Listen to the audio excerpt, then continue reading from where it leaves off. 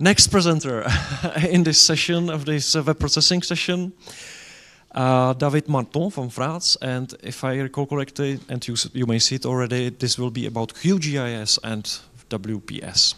You know, 20 minutes plus five. Okay.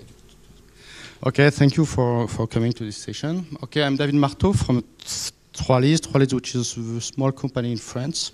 We provide GIS services. I will come to that later. Just a few words on, on this presentation. As you may know, you may know or, or not, um, you could now you can leverage web services with QGIS server, thanks uh, with QGIS, thanks to thanks to QGIS server.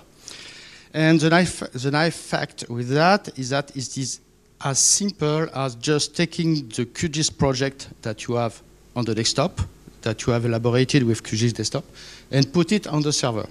And then, if QGIS server is, is running there, you have your, uh, your, your, publication, your web service, uh, which is published. What we're going to show here is uh, through a kind of typical use case is that we have implemented this, exactly the same paradigm, but for a web processing service. And from uh, QGIS processing uh, algorithms. I don't know, everybody know what is QGIS processing algorithm? No? Yes? More or less? Okay. Uh, algorithm or um, processing algorithm in QGIS or a set of uh, an, an, API which enable you to run any algorithm in QGIS that operate uh, on your data, on your layers, and, and so on, and that produce output, which can be uh, layers or any kind of geospatial data that you have uh, been processing.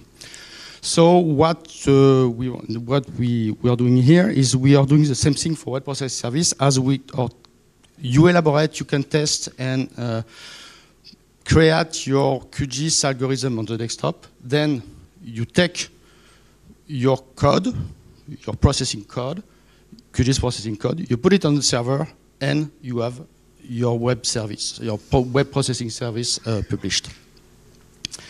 Okay, so let's go to some uh, introduction. Okay, so Trois which is uh, a, um, a, French company, uh, we are a developer of Lizmap. I don't know if you know that. It's a web client uh, which is uh, it's a web map client which is based on QGIS server. We also provide GIS hosting services based on Lizmap and QGIS as backend. And we are also contributor to QGIS and QGIS server.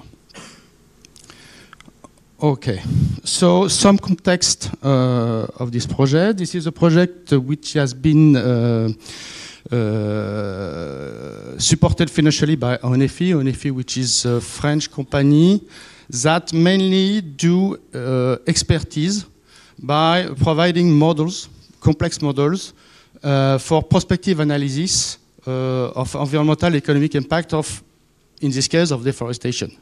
That is, they building a tool from which they create reports that are used by stakeholders to uh, measure the impact of decision taken by decision makers, usually. But they face two problems here. First, data are changing on relatively small time periods. That is, the time you produce the report, the, report, the data which has been used for this report is already out of date. Then these models are very complicated, and believe me, when I say complicated, uh, it's, these models are, use, are uh, using multiple parameters for their input that sh or should be simulate the decisions. The parameters simulate the decisions that has been taken and so the models are driven by this parameter. This parameter uh, simulate the action of the decision makers, and as you know, decision makers can vary rapidly too. So uh, in this case, they need the tools where at some point you can run your model and feed them uh, in a very efficient way to get as must as rapidly as possible the, the results and the dashboard which give you the impact of the decision that could be taken or has been taken. Um, okay. Obviously, they work with QGIS and QGIS processing. That is, they elaborate their models of, with R, for example, and they use QGIS to, to run them and to produce the output that uh, for the reports. So they need, in fact, what they want to do is not providing a kind of static report, but let the stakeholder feed the models as, in fact, uh, depending on the context of uh, the political and the environmental context. So in this case, what we want, we want to expose, it seems too natural to expose this algorithm as WPS services. Okay, so in this case, they need a, a smooth workflow from development of computational model on QGIS to their publication process on the server. Okay, web process server, I won't go here because I suppose that everybody uh, knows about uh, WPS.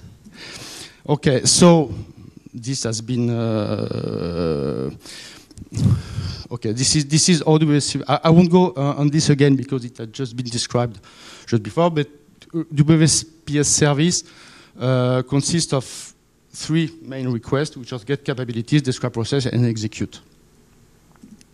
So, what's okay? How QGIS processing work? You have your data source, which represented by QGIS project, which describe which layers, which data source you're using, and so on. You have your processing algorithm, which is a code, a Python code, which use the processing API from QGIS that take the input, uh, that describe the kind of input uh, used and the kind of output uh, that the algorithm uh, provide. This is, in fact, we feel that is quite very similar in the functionality as the WPS. We are very close. You need you have a process where you need to give the description of the input and the description of the output. Then, once you run from QGIS desktop, you run the algorithm, and you produce uh, output which go to data sinks, which can be databases, uh, layers, and uh, so on. Okay? So what we want to do is this. That is, we have the data source QGIS project on the server that describes all the data sources. We have the processing algorithms, the exactly the same, the very same that the one we are using with QGIS desktop. We just we have just taken the same Python code and we just put it on the server, and we produce data sinks which can be uh, which can be uh, database inputs or layers or shapefile or anything you want, and also QGIS, pro QGIS projects that describe all that. But here, we operate, we operate the processing algorithms not from QGIS desktop, but from a WPS service.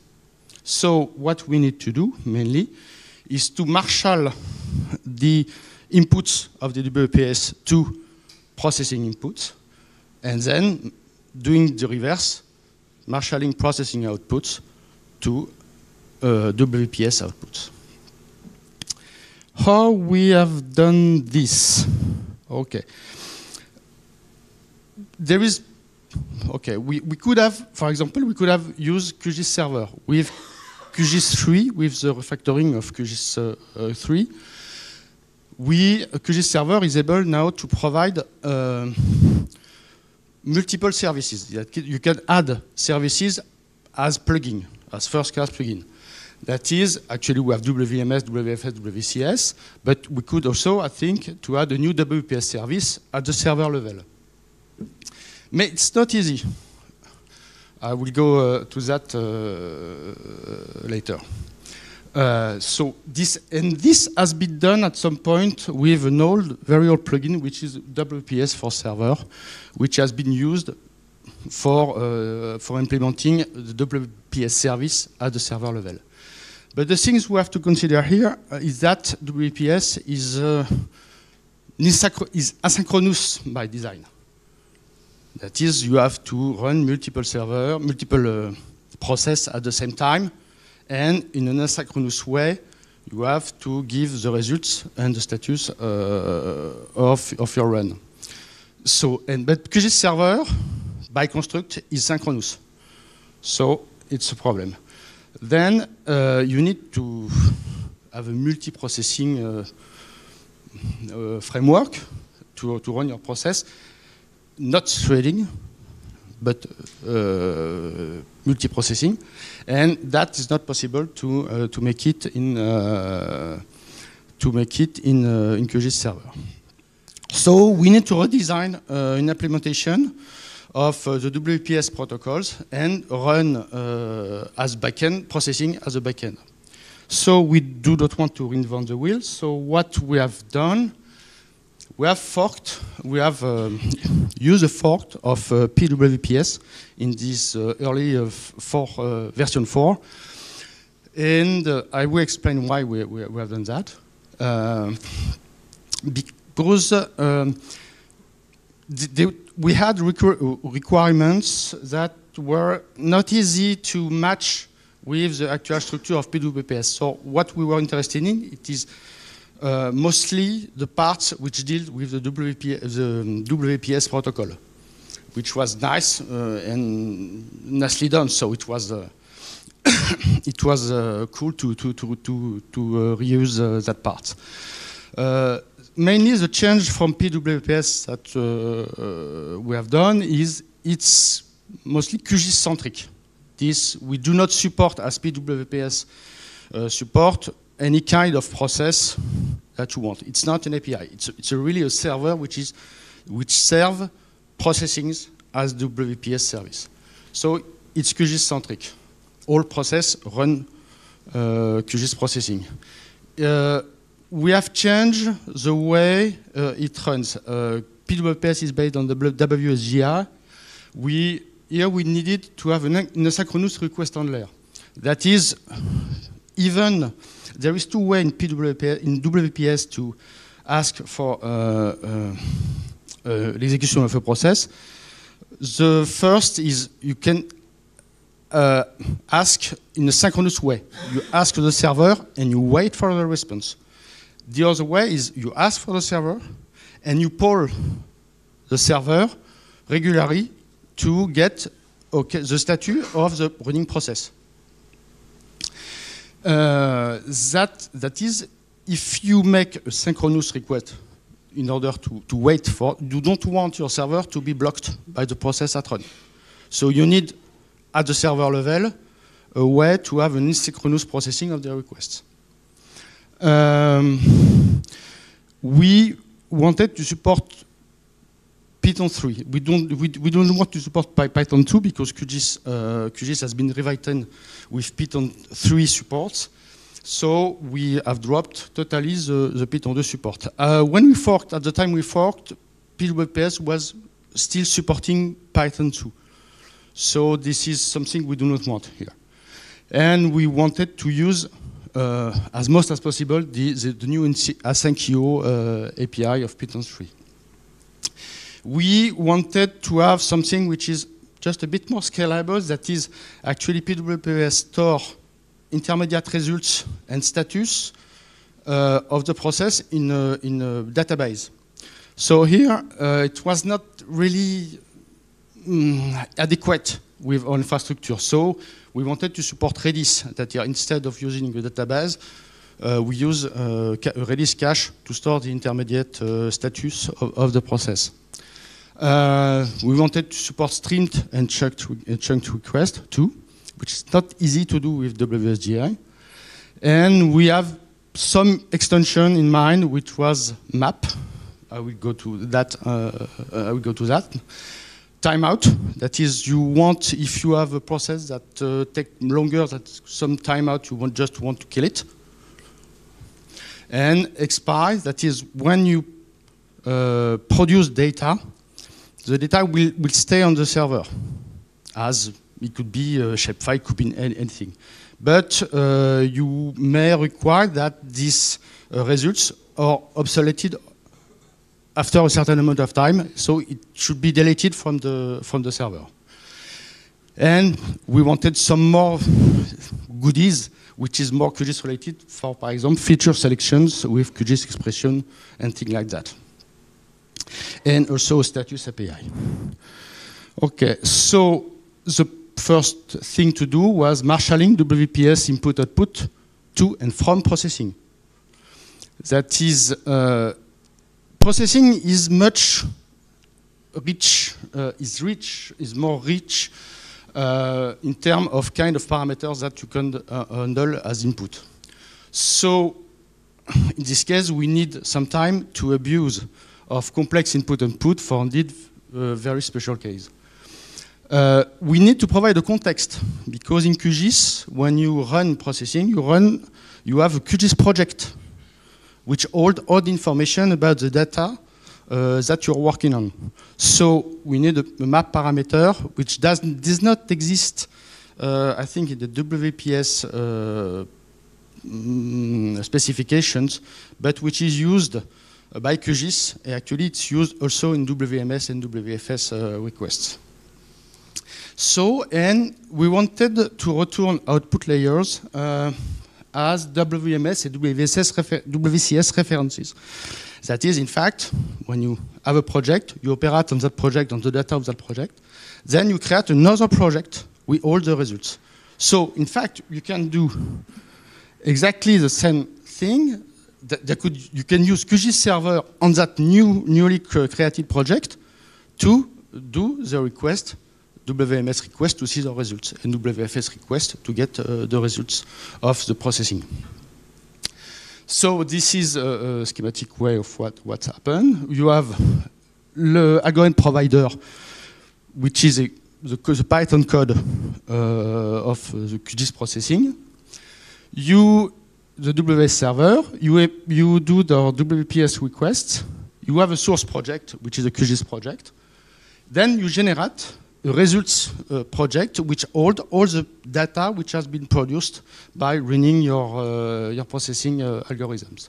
Then what you can do and what you're doing here is that we use QGIS server to publish, in fact, the results that have been generated. So we stay in QGIS in all the process. We can also get this QGIS project and get, get it back into QGIS desktop which could be very convenient. Okay. Also, we have uh, WS.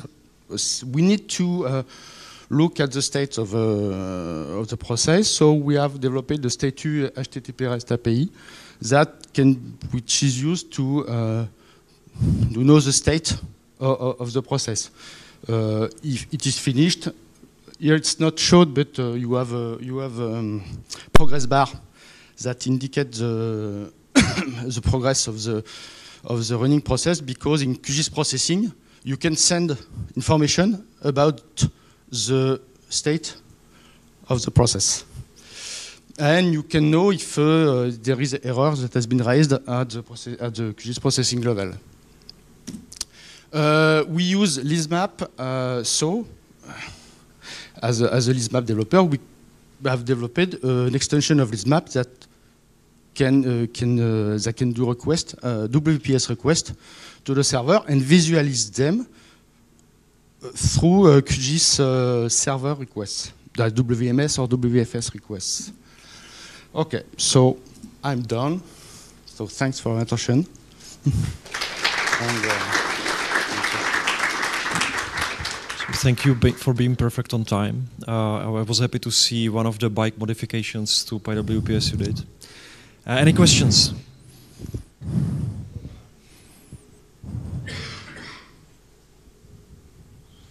Please, it was.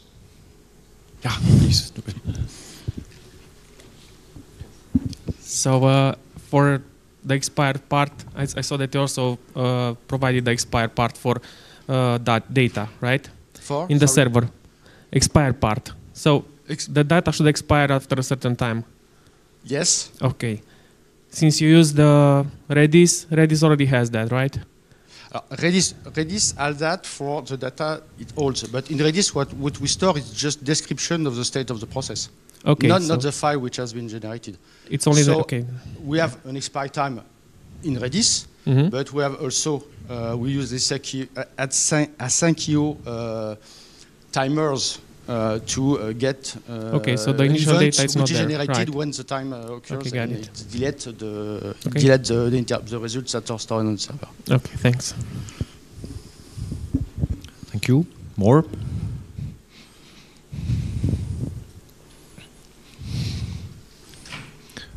Is there some demo application where we could try it out? Sorry. Demo application, public one? There is all the project is uh, open source.